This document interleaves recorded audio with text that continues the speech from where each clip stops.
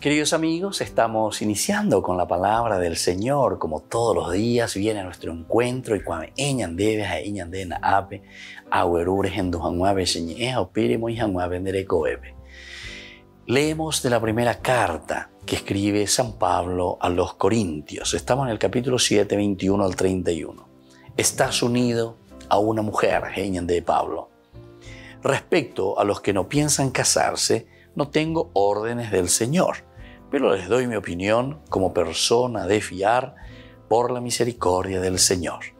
Pienso que teniendo presentes los tiempos difíciles en que vivimos, lo mejor es esto, que el hombre se quede como está.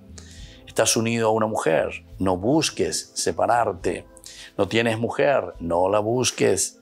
No obstante, si te casas, no pecas, y la soltera si se casa, no peca pero tendrán problemas en la vida presente y yo quiero evitárselos. En una palabra, hermanos, queda poco tiempo. En adelante los que tengan mujer vivan como si no la tuvieran. Los que lloran como si no lloraran. Los que se alegran como si no se alegraran. Los que compran como si no poseyeran. Los que usan del mundo como si no disfrutaran. Porque la apariencia de este mundo se está acabando. Termina con esta sentencia, queridos hermanos, ¿verdad? Porque si no, puede ser un poco ambigua esta propuesta de San Pablo. Ni que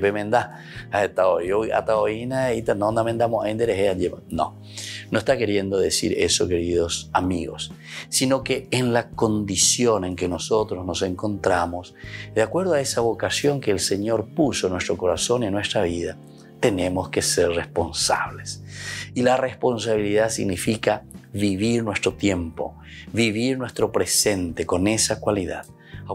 Y no tengo órdenes del Señor de una forma concreta, pero yo les digo a ustedes aquello que es mejor para que ustedes puedan vivir como puedan vivir de acuerdo a los mandamientos de Dios.